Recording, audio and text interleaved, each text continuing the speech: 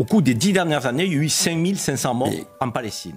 Est-ce qu'on a fait beaucoup d'émissions spéciales je suis Une, une, mort palestinienne vaut une mort israélienne. Une mort israélienne vaut une mort palestinienne ou pas Karim Zeribi recadre le plateau de CNews sur les massacres de l'occupation israélienne en Palestine. Alors que les chaînes d'information occidentales dont la France enchaînent les émissions spéciales en soutien à Israël, l'ancien député Karim Zeribi a décidé de pousser un coup de gueule en plein direct durant l'émission Punchline sur CNews.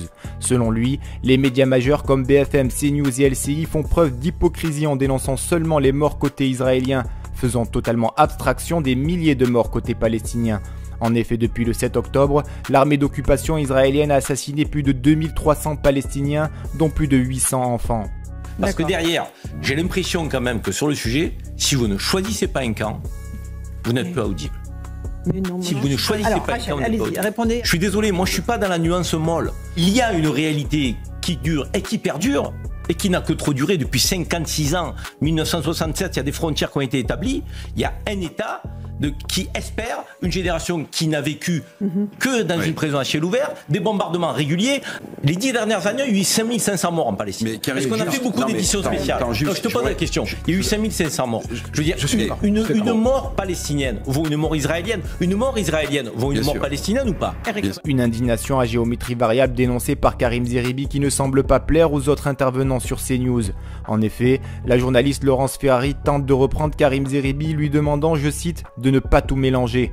Un argument inacceptable selon Karim Zeribi qui n'hésite pas à recadrer Laurence Ferrari en lui rappelant les massacres perpétrés par l'armée d'occupation israélienne sur Gaza depuis plusieurs décennies, ainsi que l'expansion incessante de la colonisation israélienne sur les territoires palestiniens. Des arguments qui ne semblent pas avoir convaincu Laurence Ferrari qui exige de Karim Zeribi de soutenir Israël.